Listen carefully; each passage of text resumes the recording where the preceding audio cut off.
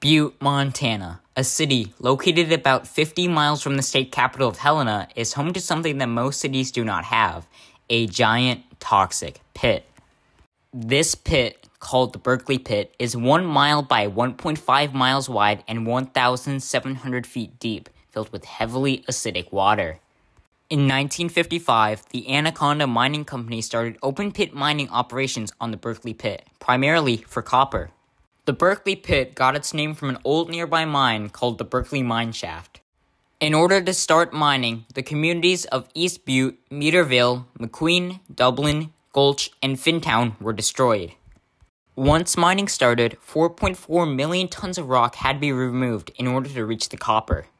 Years later, in 1962, mining operations on the Berkeley pit had become very successful, with over 320,000 tons of material being removed every single day. However, the profitability of mining did not last forever. In 1982, operations on mining in the Berkeley pit were stopped by the Anaconda Company, which was bought by the Atlantic and Richfield Company in 1977. When mining operations stopped, over 1.5 billion tons of material was removed, including 290 million tons of copper. The richest hill on earth was no more.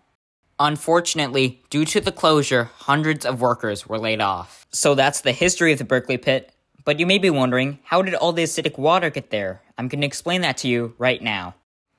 Originally, the Berkeley pit had several pumps to prevent groundwater from flowing into the pit.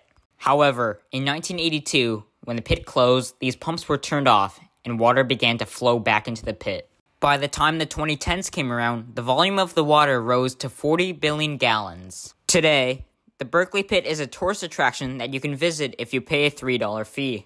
I actually visited Butte and the Berkeley Pit back in August. Whether you think it's worth it or not to visit is up to you, but the Berkeley Pit does receive 35,000 visitors per year.